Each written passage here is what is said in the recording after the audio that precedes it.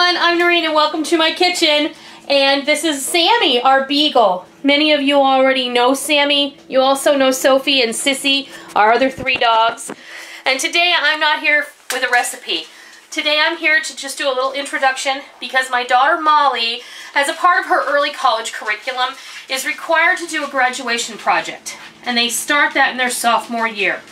As a part of the project, they have to write a research paper, they have to do copious research on a certain topic after they choose a topic, and they have to do a community service project, they have to have a mentor, and they have to do a presentation before a live panel. Molly chose animal research as her topic for her graduation project. And as her community service project, to correlate with that, she is raising money for the Beagle Freedom Project. And the reason that we chose that is because it is a charity that is close to our hearts. It is a chosen charity of our family. And what Beagle Freedom Project does is they raise awareness and they rescue beagles, which are the number one breed of animal used in medical research and all sorts of research today. Commercial research, cosmetics, hair products, shampoo, you name it. Animal testing. Animal testing 90% of the time is done on beagles if they're using dogs. But Beagle Freedom Project doesn't just rescue beagles. They rescue dogs. They res of all kinds. They rescue cats. They rescue rabbits. They rescue pigs, horses, you name it. They've they've rescued so many different kinds of animals in their first year that is absolutely incredible. They've rescued animals here in the United States and they've rescued animals from labs in Spain. I'm going to yield the floor to my daughter, and I'm going to allow her to explain to you a little more about her project. I'm so thankful that you allowed me to come to you today and kind of indulge me and uh, have Molly present this to you. If you feel um, that you are able to, if you are able to make a contribution to Molly's cause, we are raising money on fundly.com. We will put all the links below for all the uh, information that you will need to make a decision. Anything you do decide to contribute of any amount of money, if you decide to make a contribution, is appreciated. And if you are unable to afford to make a contribution, please do not make one. We understand this is hard economic times. Molly has set a goal for herself and she is slowly reaching that goal. We would love for her to reach or even exceed that goal. All the money that she raises is going to go to Beagle Freedom Project. And before I get too carried away, I'm just going to yield the floor. So here's Molly, and she's going to explain even more to you about what she's doing.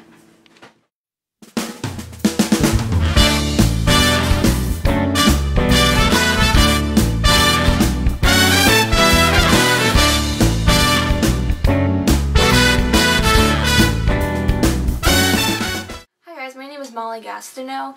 and at my school, it is required for high school curriculum to um, do a graduation project, and for my graduation paper, I chose the topic of animal testing um, and how it is inhumane and morally wrong. That was my thesis. And you are required to do a 10-hour service-based product and I chose to raise money for the Beagle Freedom Project. The Beagle Freedom Project is an organization, nonprofit, who go out and rescue beagles from um, labs and testing areas where they've been tested on all their life and they've never seen the light of day. Um, I chose them because I am, I have a beagle myself and I love her to death. I am totally against the uh, prospect of animal testing and all the cruelty that they go through. Um, we are required to do 10 hours of this project um, and I decided to sell wristbands and raise money online to help them with their um, rescuing, to raise money for their rescuing and to, ra to raise money and awareness of the Beagle Freedom Project. At my school and around town, I've been selling wristbands right here. Um, they say Timmy of the Beagle Freedom Project. They're white, they're red, and they have white lettering on them. Um, my mentor, you're required to have a mentor, and my mentor is actually part of Beagle Freedom Project, and her name is Monique Hanson. She has helped me through a lot, and she's helped me uh, get the idea and she sent me the bracelets. Um, we were actually going to sell like Beagle Freedom Project bracelets, like get them made and all, but they didn't have any of those, so she kindly sent me some of these from her first rescue of a dog named Timmy. And she also sent me these wonderful cards, and on the back it has uh, Timmy the dog's life story. Um, and also, whenever I sell these at school and around town, they get this card, and they also get the Beagle Freedom Project um, business card. Online, I am raising money through a site called fundly.com. There is my entire story and my reasoning on why I'm doing this on there. And uh, my goal it was a thousand dollars. I lowered it to five hundred because I wasn't quite sure I could get to a thousand dollars on time. Um, I do have two weeks left to raise a thousand dollars. I put it back at a thousand dollars. I am currently at $575. There was a nice man who donated $295 to my campaign, and I could not thank him enough. There was also someone that donated, donated $50, and everyone that's donated $25, and everyone that supported my campaign. Thank you so much. It means the world to me. Um, I cannot wait to find out and see where all this takes Beagle Freedom Project and how much this helps them out. I appreciate them so much and I am so thankful for everyone who has donated and supported my campaign and hope that maybe you guys can donate and support to my campaign as well. Thank you so much for watching and listening. Bye.